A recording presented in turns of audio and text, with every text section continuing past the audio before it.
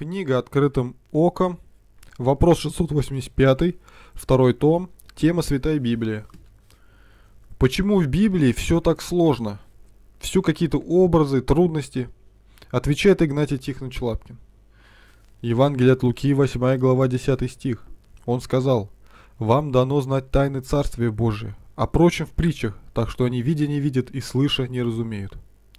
Это для того, говорят мужи веры, чтобы меньше были виноваты те, виновны те, кто слушал и не уверовал.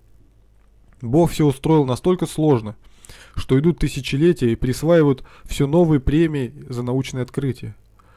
Но они все открывают и открывают, и следующим хватает тайн в самом маленьком, что у нас под рукой. И за это нужно прославлять Творца.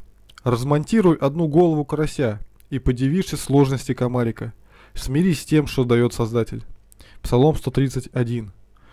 Господи, не надмевалось сердце мое, и не возносились очи мои, и я не входил в великое для меня недосягаемое. Не смирял ли я, и не успокаивал ли души моей, как дитяти, отнятого от груди матери? Душа моя была во мне, и как дитя, отнятое от груди.